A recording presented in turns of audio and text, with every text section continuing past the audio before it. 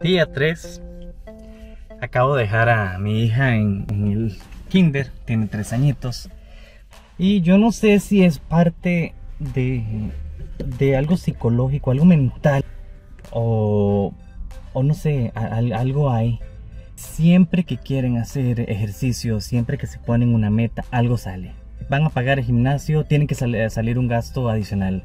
Van a hacer dieta, viene un cumpleaños. Entonces ya no podemos hacer dieta porque viene pastel y viene un montón de cosas. Tienen una cita con el nutricionista, alguien se enferma. Hoy es el día 3, hoy iba a hacer CrossFit.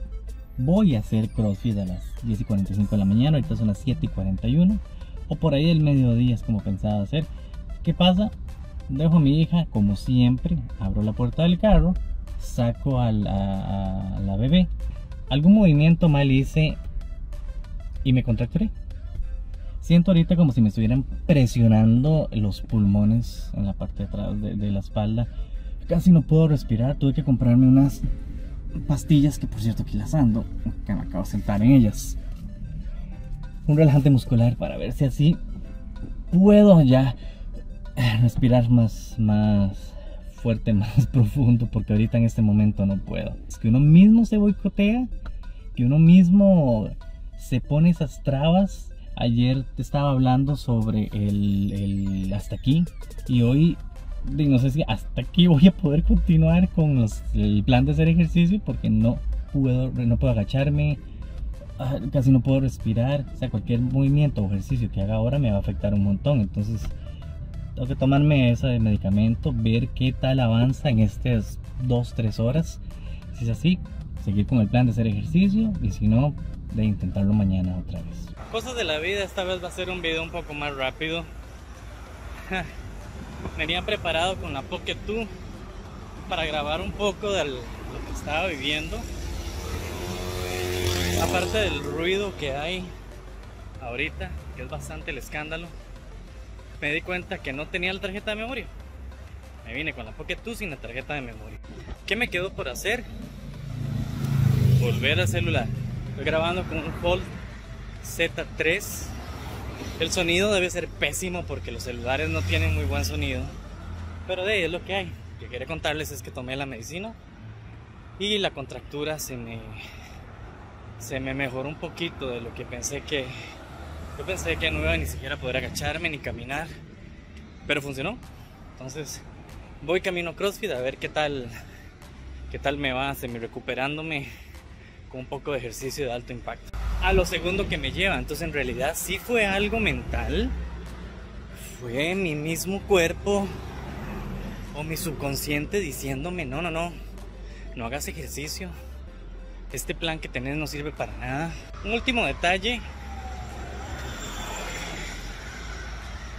escuchen a su cuerpo, esto que estoy haciendo es porque ya me siento bien siento que ya tengo movilidad porque si no la tuviera no me arriesgaría a hacer ejercicio pensando que me voy a lesionar. Conozcan su cuerpo y sus límites.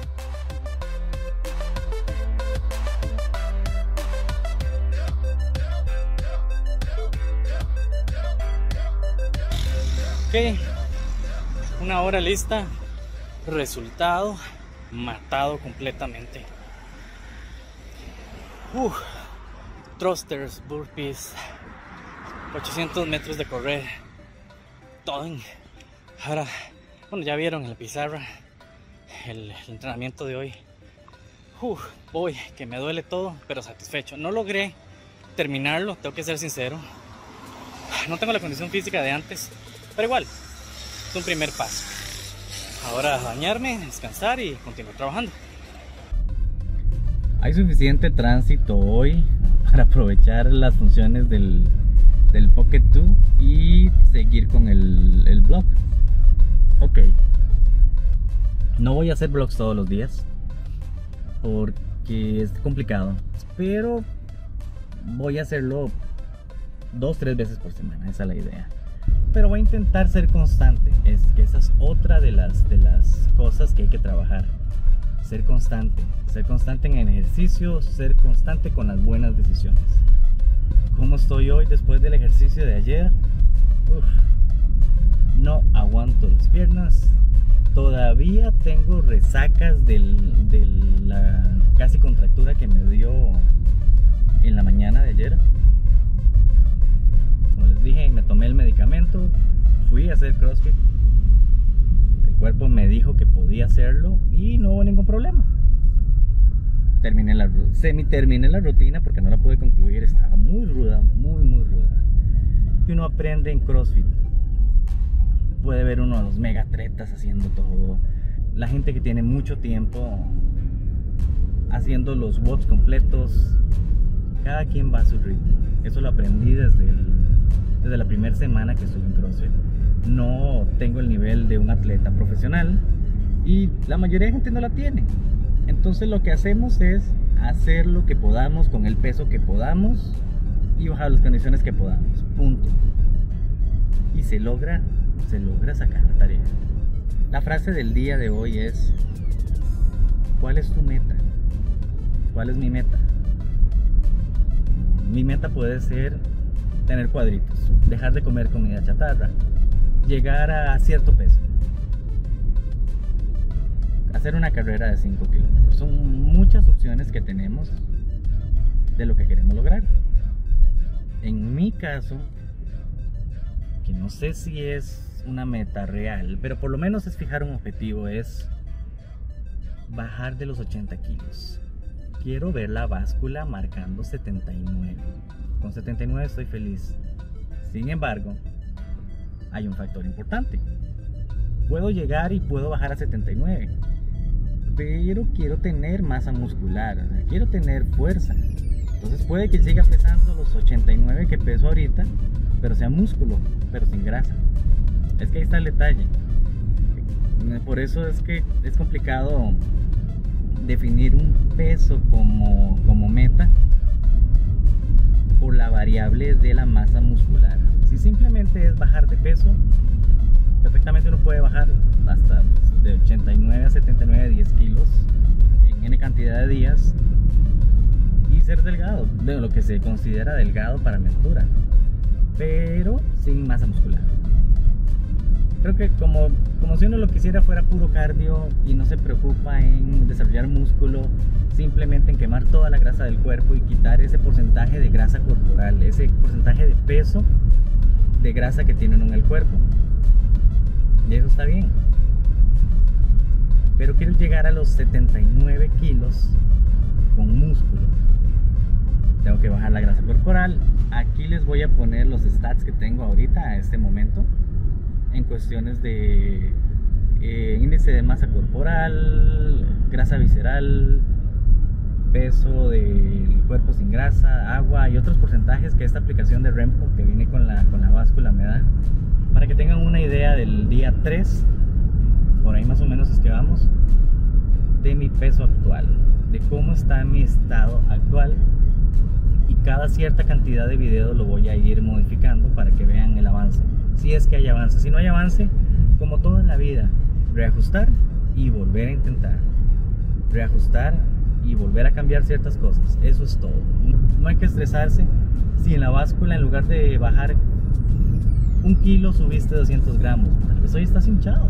Tal vez comiste de sobre exceso el día anterior y no se evacuado. Pero es eso. Es por lo menos ver un cambio. Ver que se está intentando. Y si no se hizo bien, todo en la vida, reajustar y volver a intentar.